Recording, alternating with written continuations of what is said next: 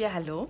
Äh, nachdem ich jetzt einige Beiträge zum Thema Do-it-yourself-Visualisierungen leicht gemacht veröffentlicht habe und auch dazu meinen Podcast gestartet habe, wollte ich dir heute einen Einblick in eine der drei Apps geben. Und ähm, also die drei Apps, die ich vorgeschlagen habe, sind hier Sketches, Procreate und Concepts.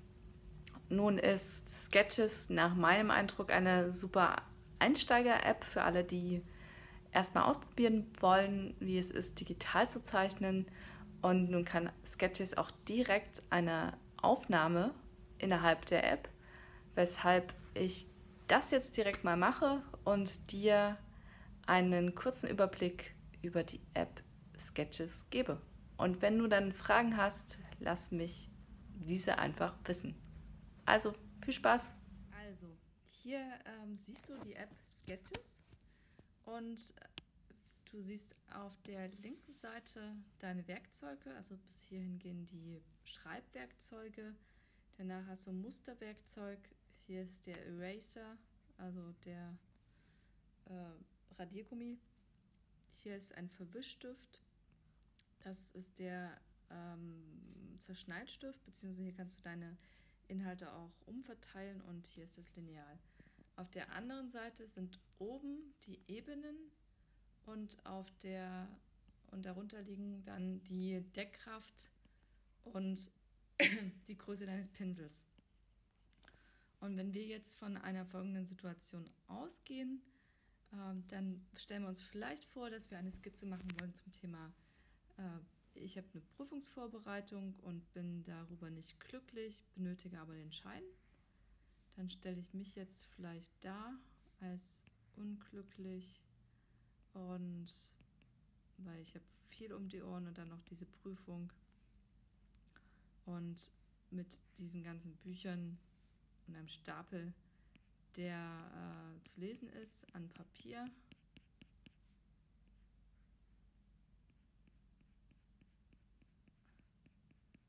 Und hier auf der anderen Seite vielleicht einfach noch ein paar Bücher, zu lesen sind. Also das ist schon tatsächlich eine Situation, die ich vielleicht nicht brauche und ich hoffe vielleicht einfach darauf, dass ich dann von dieser Lernsituation, ähm, in der ich quasi einiges an Stress habe, äh, diese Prüfung dann auch bestehe. Und das kann ich einen anderen Stift mal auswählen. Jetzt das Grün der Hoffnung. Und der ist jetzt relativ dick, aber das passt für die Demo ganz gut. Und ich meine, ich kann sonst auch natürlich den hier kleiner machen. Und ich hoffe, dass ich das Zertifikat erhalte, weil ich das benötige. Und dazu wähle ich wieder das Schwarz. Hier ist das ähm, Zertifikat, was ich dann hoffentlich erhalte, mit dem ich dann natürlich auch strahlend ähm, weitermachen kann. Bestanden.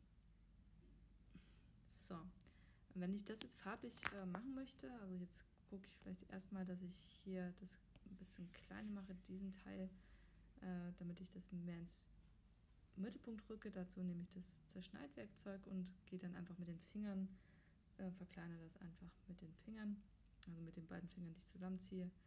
Dann habe ich es ein bisschen kleiner und wenn ich jetzt mein Zertifikat noch bunt machen möchte, sollte ich die Ebene unter meinem Konturstift auswählen, damit ich nicht meine Konturlinie überzeichne.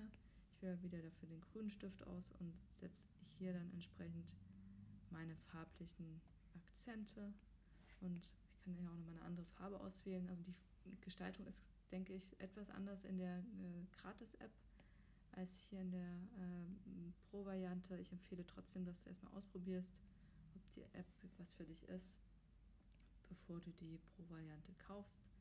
Und hier strahlt alles.